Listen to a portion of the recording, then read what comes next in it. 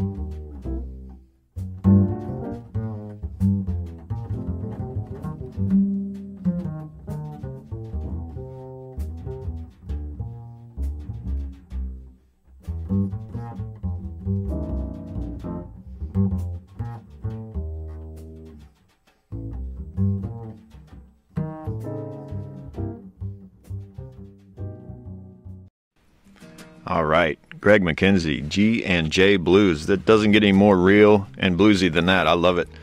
Uh, yeah, again, that's from the Shades of Blue album, and you can check out his music on gregmckenzie.com. Greg has been uh, lucky enough to travel all around the world. Um, he's he's toured a lot in Asia, the Middle East, and Europe. Um, and he even had a steady gig uh, back when the World Trade Center in New York was still standing. Um, he was uh, playing at a place on the 107th floor of the World Trade Center building back in the 90s, I believe. And uh, yeah, he's just a great piano player and a great songwriter, too, arranger. And you can find all his music on his website, and you can find some albums on uh, iTunes and Spotify if you are on there. And he also has a great YouTube channel. So everything's linked up at his website. Let me give you a little bit of a background about Greg. It's uh, his bio is very long, so I'll try to keep it short. Greg McKenzie, international jazz pianist and composer, whose crossover from Chopin to Oscar Peterson continues to mesmerize audiences with his unique sensitivity, original arrangements, and show, uh, showmanship.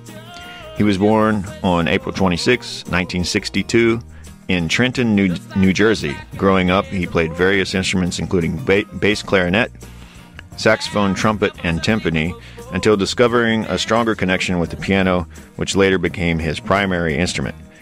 In August of 1976, McKenzie lost the tip of his right index finger in a lawnmower accident, but he continued to play. So he he plays a great piano, and he's missing half of his finger. he was recovering for two years, and uh, and continued to get inspired by uh, many different genres of music. Uh, from 1996, McKenzie produced his first CD entitled Happy Endings at Rainbow and Stars, the Cabaret, adjoining the Rainbow Room at the top of the Rockefeller Center. During McKenzie's three year stint at the Rainbow and Stars, he opened for Joe Williams, Vic Damone, Ruth Brown, Anthony Newley, and Rosemary Clooney, amongst many others. During 1999, he began traveling internationally as a soloist to four continents Africa, Asia, Europe, and North America, performing at many venues such as the Hilton Tokyo Bay, Millennium Hotel at Abu Dhabi, and the Jnan Palace Fest in Morocco. By 2000, McKenzie was invited performing piano concert tour of Taiwan, concluding the National Theater and Concert Hall Taipei. And these days, you can check out Greg playing at the Palace Hotel every night. And he plays in different configurations um, solo, the solo, duo, and trio. He plays uh, with special guests there. It's a great, great night. So, Palace Hotel, Tokyo. All right, let's listen to one more song. This is uh, another song from the same album, Shades of Blue, featuring the same guys uh, Greg McKenzie, Don Falzone, and Gordon Lane. And this is uh, the title track of the, the CD. This is called Shades of Blue.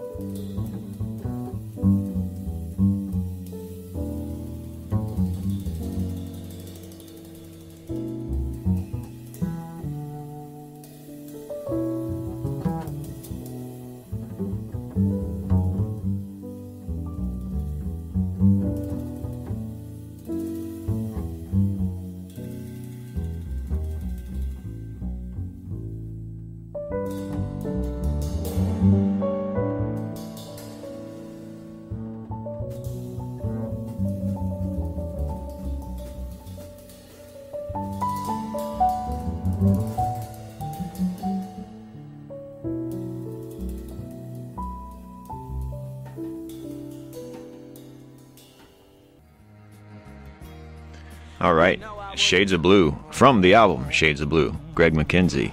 Um, please go to Greg's website to find out more. G R E G M C K E N Z I E dot com.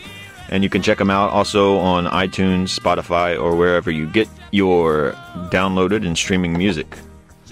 All right, that's will do it for tonight and uh, we are out of time. So please join me again next week at the same time and channel for more great music. And remember, you can catch myself and Yuka Sato playing live at La Villa Lupicia and Sansui Niseko nightly. Thanks so much for listening to Into the Mystic.